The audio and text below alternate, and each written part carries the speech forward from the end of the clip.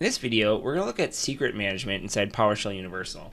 So you can actually store and manage secrets uh, in various vaults using PowerShell Universal directly, uh, and then use those secrets either as credentials for scripts that you're running or secrets that you're going to pass into the scripts that you're executing, whether it be with dashboards, APIs, or jobs.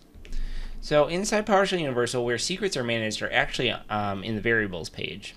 So if you click Platform Variables, um, this is where you'll actually manage your secrets. You'll notice that in the top right here we have an Import Secret button. If I click that, you'll see that I have a bunch of secrets that I've created in local vaults that are storing various things like API keys, credentials, dashboard secrets, and that kind of thing. So we currently support uh, string and PS credential uh, types for your secrets. And we have two built-in vaults. We have the built-in local vault and the PSU secret store. The built-in local vault is only available on Windows, and that is using Credential Manager to actually store the secrets. Um, it's kind of uh, it is using the user uh, store for that. So if you were to change your user credentials, it would actually you wouldn't see your credentials anywhere. You wouldn't be able to access them. So you have to be aware that it's using the user store for Credential Manager. Similarly, with the PS Secret Store, this is actually a single file that stores all the secrets, uh, and it stores in the current user's um, profile, and um, it kind of is the default vault for PowerShell Secret Management. So what PowerShell Universal is actually doing is calling the secret management modules to do things like read the secrets. So for example, if I wanted to bring in one of these secrets, I could select this, click OK, and now I have a new variable called my secret, and obviously it's not going to display the value, um, but we can use that secret in our scripts. So if I go to my scripts folder here, and I'm just going to create a new script, click OK, and to access that secret that I just imported into my environment, I can use the secret scope. So rather than uh, exposing the entire secret vault to all your scripts and APIs and dashboards, you have to specifically say which secret you want to access. So in this case, I want to access my secret. Now in a real world scenario, you wouldn't actually output it like this, but you would actually use this to call other things. Uh, in this case though, I'm just going to output the value of this secret. So now you can see that it actually returned the value of what was stored in that string secret. So you can see it's my secret 123. Just like how you can um, import secrets, you can also create secrets. So if I want to create a new secret, I would click the create new secret or create new variable button and then switch to secret.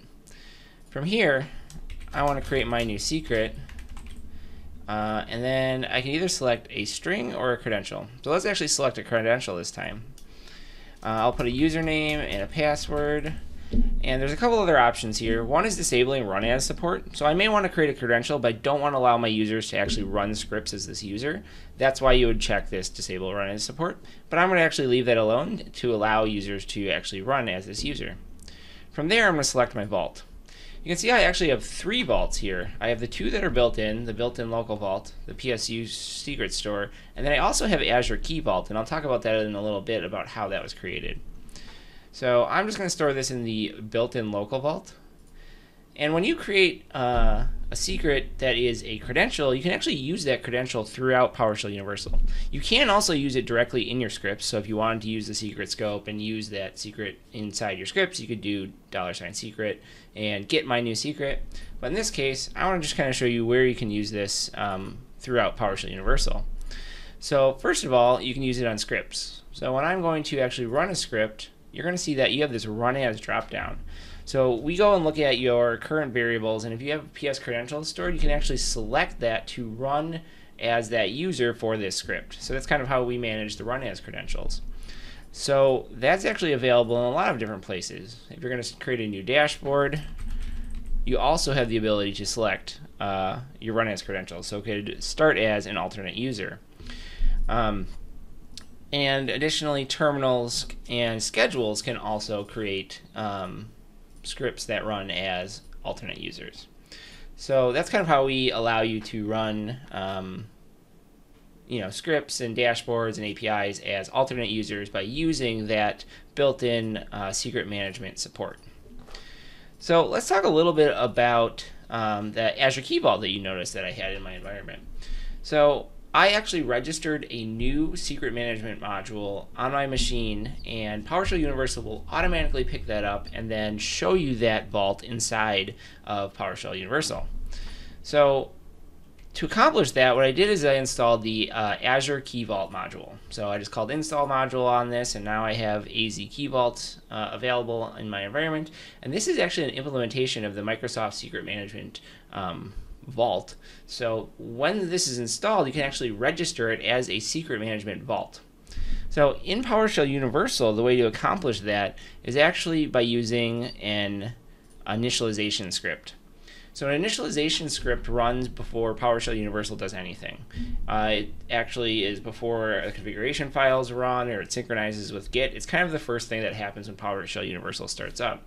The reason that you want to put your secret vault registration in here is because other things may rely on that secret vault later on, like loading the variables and then using those variables in other configuration files. So what I'm doing here is um, setting a variable for my uh, subscription ID, and then I'm calling register secret vault. This is just a uh, Microsoft Secret Management module commandlet, um, and from there I want to specify the uh, module name I'm going to be using. So that was the Azure Key Vault uh, module I installed. Uh, the name, that's just a friendly name, it's going to show up uh, inside PowerShell Universal. And then you need to specify some uh, vault parameters. So these vault parameters are kind of like adjustable based on the vault that you're connecting to. Uh, in this case, Azure Key Vault needs to know which vault to use and then which subscription ID to use. Um, I'm also specifying allow clobber, so if that vault already exists, just you know wipe it out and um, continue on. If you're running in an Azure environment, um, you can use uh, managed identities to just use connect AZ account, um, specify the subscription ID, and it'll connect to that account uh, appropriately. I've already connected to my account, so I just have this uh, commented out for now. And you can see here that I have this universal uh, demo secrets uh, vault set up here. So now that I have this registered, what I can actually do is go to variables, and if I create a new variable, click secret, um, I'm just going to say this is an Azure Key Vault secret. Uh, it's just going to be a string. We can just set some value. And then um, from there, I want to select Azure Key Vault. So now what this is going to do is it's going to call the standard uh, PowerShell secret management module commandlets, but because we have the secret management module for Azure Key Vault, it knows how to communicate with that vault. We've configured that vault, it's available to us, and if we click OK here, is actually going to create this in PowerShell Universal. So from a PowerShell Universal standpoint, all we see is, uh, if we look in this variables um, drop down here, or uh, configuration file, is we have various variables set up and they're, they're specifying the vault that they're configured for. So we actually go and look and see which registered vaults we have, and then we load them from um, that vault. So what's cool about that is if we actually go over to this universal demo now and hit refresh, what you're going to see is that that Azure Key Vault uh, secret is now in Azure Key Vault. So uh, it's not stored on the PowerShell Universal server at all. It actually goes and communicates with Azure uh, based on your communicate or your authentication preferences, and um, it will load that secret and use it inside your scripts, APIs, or dashboards. So there are lots of key vaults, and if you are looking for a key vault, there are actually um, there are these tags that you can look for, which are the secret management tags. So if I click on this, you'll see that there are a bunch of different secret management vaults that you can use. Obviously, Key Vault is the most used in the Microsoft space, but there are things like Secret Store, KeePass, uh, HashiCorp's Vault, Bitwarden. Um, I know there's CyberArk in here. Even Chromium is available. So um, there are lots of key vaults, and if we need to create more key vaults, I think that's something cool that we could build for the community. So if you are using a key vault that you don't find inside um, the PowerShell gallery, uh, it's definitely something that we could kind of collaborate on. So this has been an overview of how to use secrets inside uh, PowerShell Universal. Uh, if you have any questions, please uh, don't hesitate to leave uh, feedback in the comments.